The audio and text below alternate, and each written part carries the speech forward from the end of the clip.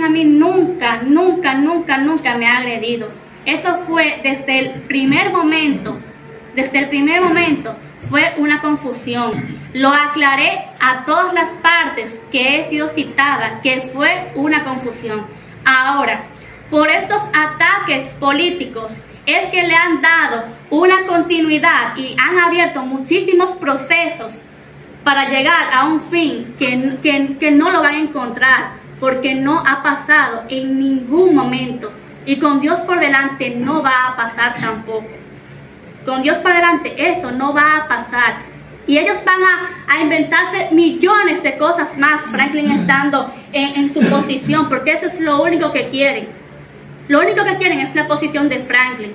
Pero si ellos la quieren, si Franklin sale un día de esa posición, Franklin va a salir con la mente, con la, con la frente en alto. Porque Franklin, más transparente que ese señor que ustedes ven ahí, más transparente que ese señor.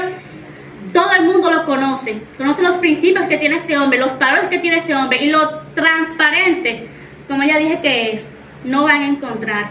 Y no es verdad que Franklin, por esos rumores, Frank, Franklin va a salir perjudicado, porque aquí no van a encontrar, aquí no van a encontrar agresión.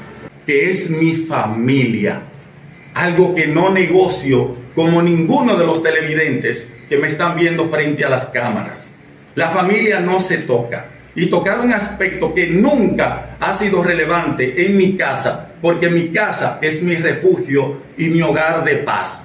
Y aprovecho los medios para responsabilizar a la gobernadora Gregoria Correa y al senador Alexis Victoria de cualquier afección en contra mía o de cualquiera de mi familia. Y al pueblo también que abra los ojos y al presidente de la República, que una de las grandes críticas es que tenemos el mejor presidente que hemos tenido en la historia del país y yo lo corroboro y fielmente confío en el presidente Luis Abinader, pero deja mucho decir de las personas que lo están representando como funcionarios, porque el mismo es bueno, es transparente y es un presidente que ha dado cátedra de cómo dirigir un país. Y muchos funcionarios, en vez de ocuparse de acciones representativas, y ambiente colectivo, lo que se preocupan es por perseguir gentes que estamos en cargos públicos que no obedecemos a líneas directamente de ellos, porque a veces no se enfocan tanto en cuanto cumple el funcionario, sino en cuanto puedo ser beneficiado tras el nombramiento de una persona en específico.